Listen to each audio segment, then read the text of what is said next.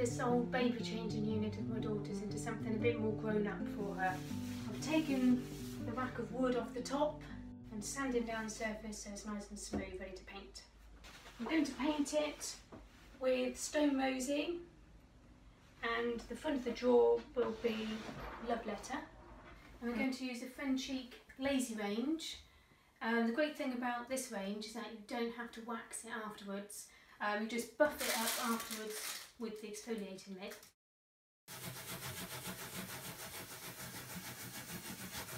When you use a new brush, it's always worth remembering to take the wrapper off first. It makes painting a lot easier. I've taken the drawer out to paint the drawer front um, love letter pink. Um, and I've removed the handles because these are going to be painted a different colour so it avoids any cutting in, it makes it a lot neater finish.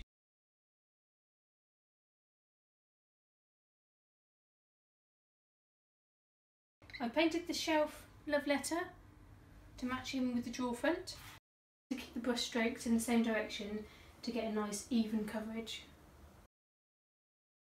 I filled in all the little holes and now I'm lightly sanding over the top and then I'll paint over it so it all blends in nicely.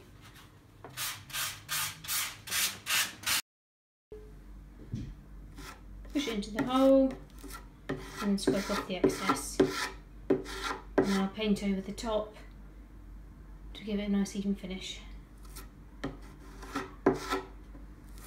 I've done two coats of paint all over the unit. Um, I've seen an idea on Pinterest which I think is really great, um, a way of storing soft toys to make it look like a zoo. So I've got some thick elastic pulled in here which I bought on eBay, um, really cheap, um, and I'm going to drill some holes, 8 on the bottom, 8 on the top, and feed the elastic through. Um, it, there's enough room underneath the jaw for still open the nose, which is great. Um, and these will make the bars. I've measured and marked where I'm going to drill the holes, evenly spaced. I'm using a Ryobi drill.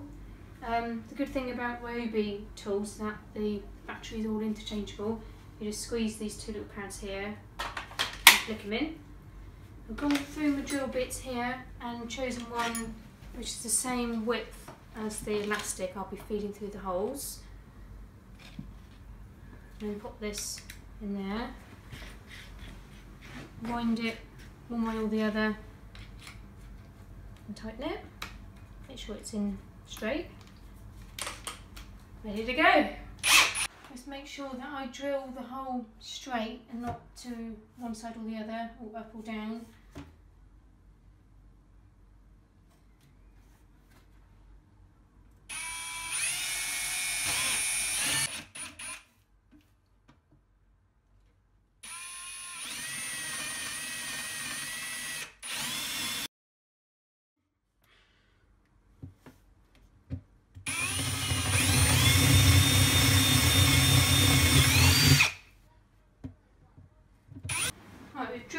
holes. Now it's time to feed through the elastic.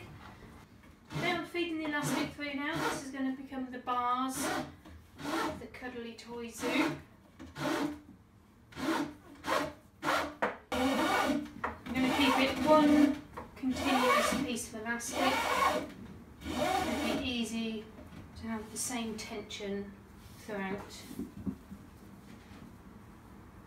I've realised this shelf is too wide and the elastic um, hits it so we're going to make the shelf a bit narrower.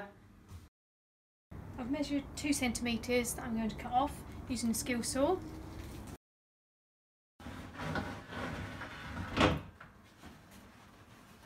That's better.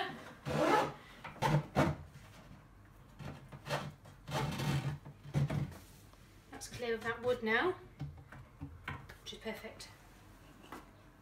We fed all the elastic through and tied it underneath at the bottom and it works perfectly.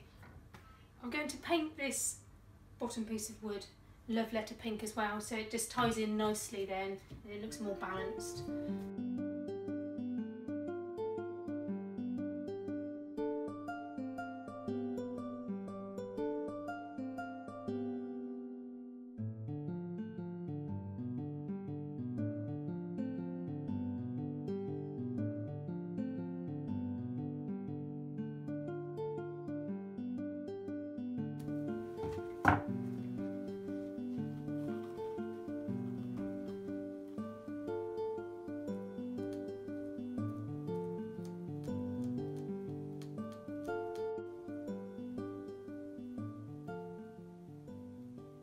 The benefit of using a sponge is that you can dab the paint rather than using a paintbrush and it might end up going underneath the stencil.